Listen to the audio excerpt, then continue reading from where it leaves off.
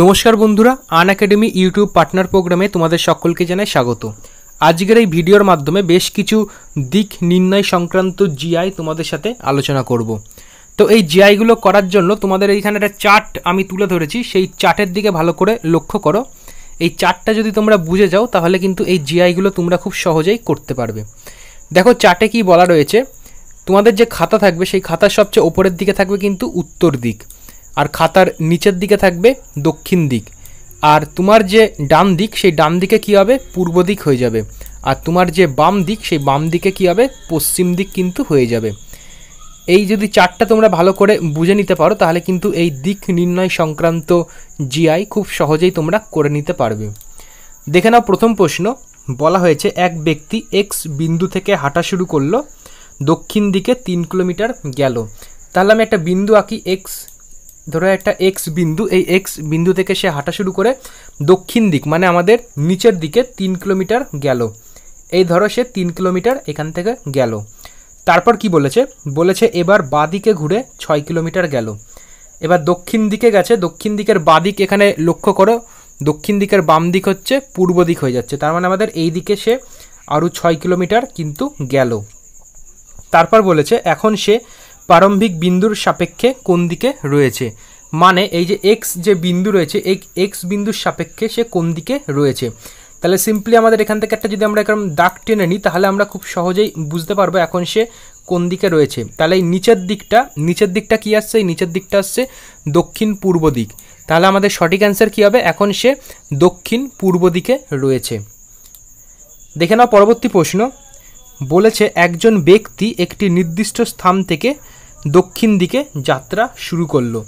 আমি তাহলে একটা এক্স একটা বিন্দু ধরে নিই। এই এক্স বিন্দু একটি নির্দিষ্ট স্থান, এখান থেকে সে দক্ষিণ দিকে যাত্রা শুরু করল। তো দক্ষিণ দিকে সে যাত্রা শুরু করল, বলেছে, দক্ষিণ দিকে যাত্রা শুরু করার পর বলেছে যে সে প্রথমে সমকোণে ডান দিকে ঘুরলো মানে নাইনটি ডিগ্রি। দক্ষিণ দিকের ডান দিক তোমরা এই ছকে দেখে নাও। পশ্চিম দিক হচ্ছে কি? ডান দিক। তাহলে সে সমকোণে নব্বই ডিগ্রি মানে সমকোণে ডান দিকে ঘুরলো। তারপর কি বলেছে? বলার পর তারপর বলেছে যে আবার সে সমকোণে ডান দিকে ঘুরলো। আবার সে সমকোণে মানে পশ্চিম দিকের ডান দিক কী হবে, উত্তর দিক আসবে, তার মানে উপরের দিকে সে আবার সমকোণে ঘুরলো। এতখানি ক্লিয়ার হয়ে গেছে। এখানে দেখো দুবার সে সমকোণে কিন্তু ঘুরেছে। সমকোণে প্রথমবার ডান দিকে ঘুরেছে, তারপর দ্বিতীয়বার সমকোণে ডান দিকে ঘুরেছে। তারপর বলেছে আবার সে সমকোণে ডান দিকে ঘুরলো মানে তিনবার। এবারে যে উত্তর দিকে আমরা মুখ করে রয়েছি, তো উত্তর দিকের ডান দিক দেখে নাও, পূর্ব দিক হয়ে যাচ্ছে। তাহলে সে আবার সমকোণে ডান দিকে ঘুরলো। ওকে এবার প্রশ্ন বলেছে, এখন সে কোন দিকে মুখ করে হাঁটছে? তাহলে এই দিকটা, এই যে এই দিক এই দিক কোন দিক হচ্ছে? চার্টে দেখে নাও, এই দিক হচ্ছে কি আমাদের পূর্ব দিক হয়ে যাচ্ছে। তাহলে আমাদের অ্যান্সার কী হবে?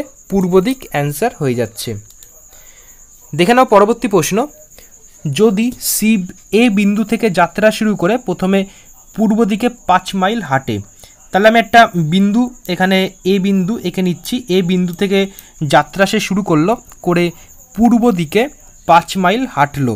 পূর্ব দিক মানে এই দিক, পূর্ব দিকে সে পাঁচ মাইল হাঁটলো, ঠিক আছে? বলেছে, তারপর সে বাঁ দিকে ঘুরে উত্তর দিকে বরাবর চার মাইল হাঁটলো। বাঁ দিকে ঘুরে উত্তর দিক বরাবর সে আবার চার মাইল হাঁটলো, ওকে? এবার কি বলেছে? বাদিকে ঘুরে উত্তর দিকে চার মাইল হাঁটার পর বলেছে, সব শেষে আবার বাদিকে ঘুরে তিন মাইল হাঁটে। সব শেষে আবার বাদিকে ঘুরে তিন মাইল হাঁটে।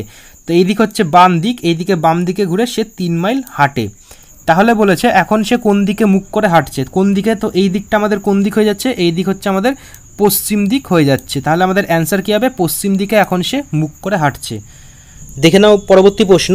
বলা হয়েছে, যদি আপনি উত্তর দিকে কিছু দূর গিয়ে ডান দিকে ঘুরে কিছু দূর যান। তাহলে আমি একটা এক্স বিন্দু এখানে এঁকে নিচ্ছি। এক্স বিন্দু, এখান থেকে আমি উত্তর দিকে ধরো কিছু দূর গেলাম। উত্তর দিকে কিছু দূর যাওয়ার পর আবার আমি ডান দিকে ঘুরে কিছু দূর গেলাম। ঠিক আছে? ডান দিকে ঘুরে কিছু দূর যাওয়ার পর বলেছে, তারপর আবার ডান দিকে ঘুরে কিছু দূর যান।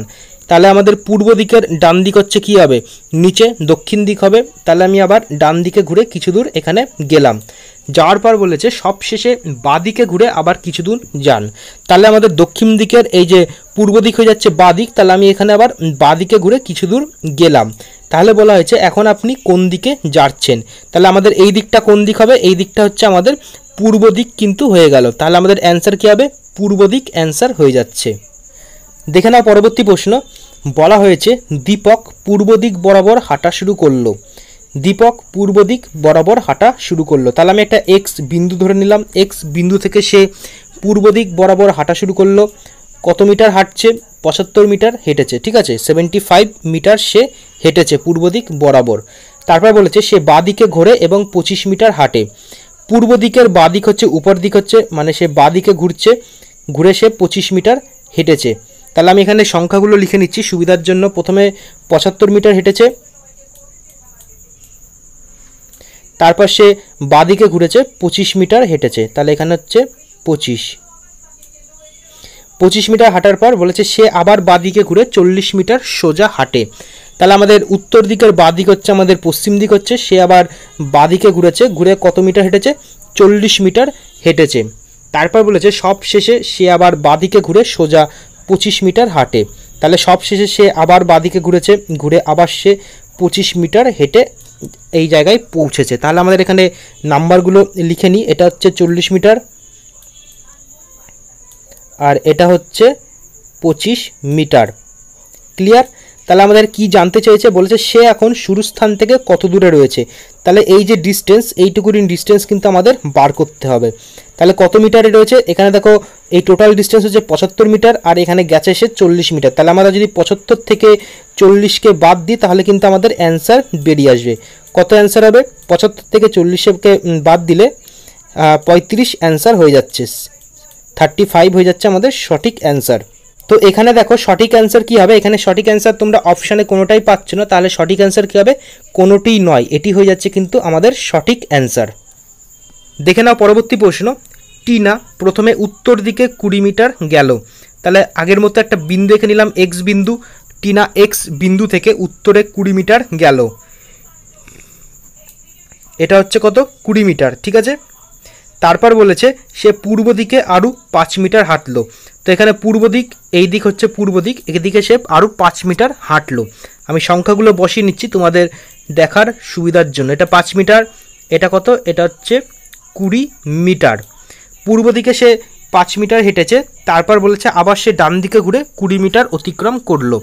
পূর্ব দিকের ডান দিক হচ্ছে নিচের দিক মানে দক্ষিণ দিক, সে আবার ডান দিকে ঘুরে কত মিটার না কুড়ি মিটার অতিক্রম করেছে। তাহলে বলেছে এখন সে শুরু স্থান থেকে কত দূরে রয়েছে।